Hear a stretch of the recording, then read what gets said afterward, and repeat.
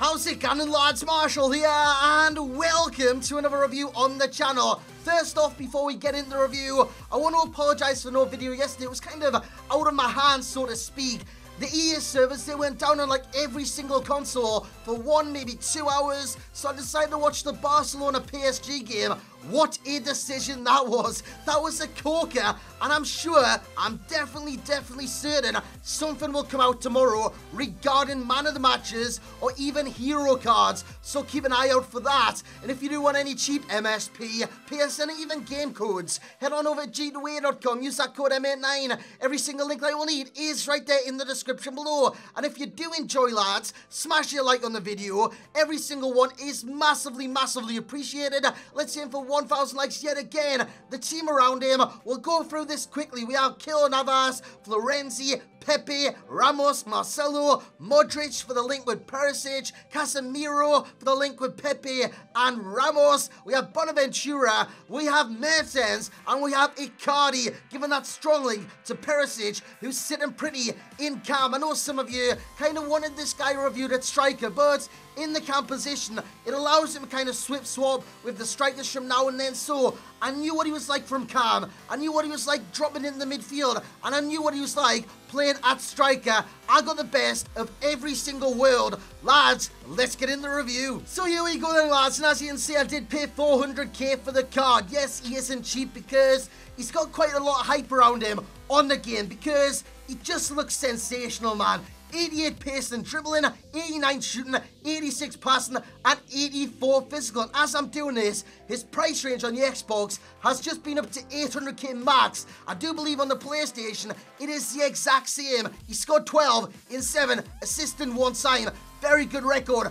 4 star skills, 5 star weak for high to medium work rates, 6 foot 1 tall, with jumping of 90 in the air, this guy is dominant. Positioning 92, acceleration 85, agility 84, balance 72. Sometimes this card is like Bambi on ice, he just can't seem to get his balance. However, when he does, he's got the skill attributes, ball control, 89, cross 91, dribbling, 90, long shots, unbelievable, 90, and shot power, 93. With the Maestro chemistry style on, he goes to a 95 cam in game. Gets like 99 shot power, 99 long shots. Honestly, this guy is ridiculous on this game. You've seen there, I originally didn't go for that kind of shot. I went for the flick of flick of bicycle kick.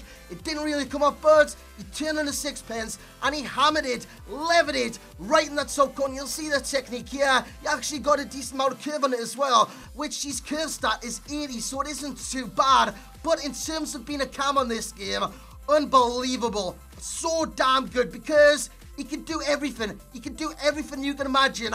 You want your cam to do on this game. He's got the height, he's got the physicality, yes, his aggression isn't the best in the world, which does bring him down every now and then, but his strength sometimes does override that. In cam, he's just dominant in that position. He's just, he holds it down so well in that position.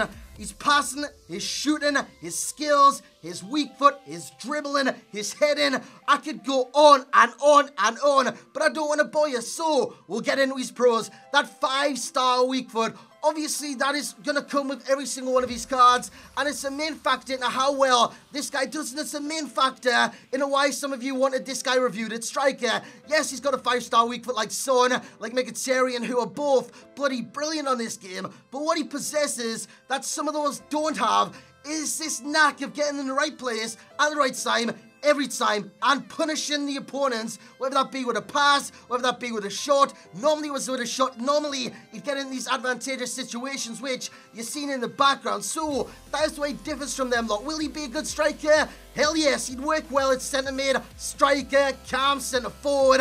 He'd work well in every single one of those positions. So, I don't really see a kind of issue with him being played in a different position from Cam. Striker would be perfect. Centre forward would be perfect. Cam would be perfect. Centre mid is a little bit out of touch, but honestly, in those attacking positions, this card is phenomenal. Four star skills, it allows him to be flairful on the ball because he can skill past your opponents. The Burberton, like I keep saying, with a lot of players on this game, if you've got a decent amount of strength, that Burberton is very OP. So you can kind of ride the defenders from side to side and you can just shimmy them out the way with the strength that he's got. Yes, the aggression isn't the greatest in the world, but like I said, sometimes the strength does override that. Long shots, you've already seen it. This guy from distance is a bazooka. He's a sniper rifle. He just pulls the trigger and it's flying towards that back of the net every single time. And it doesn't matter what foot it's on, left foot, right foot, it does not matter. And he's got the shot power.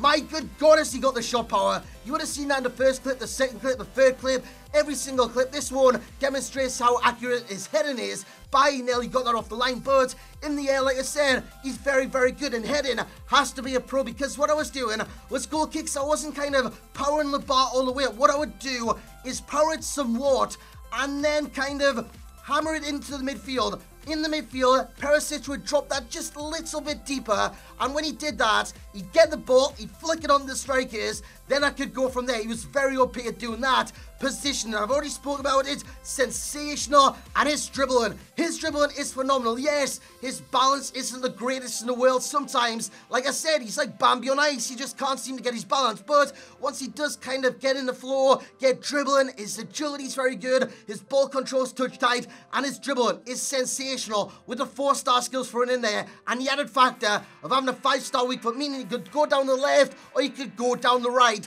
all in all, lads, I was very, very, very, very, very, very, very, very impressed with this card. So, he's going to get a rating of a 9.5, a very high rating for a cam from me. Anyways, he's one of the best cams on the game, without a doubt, without a doubt. And he's getting a value for coins of an 8.2 because at this moment in time, it is still very, very high.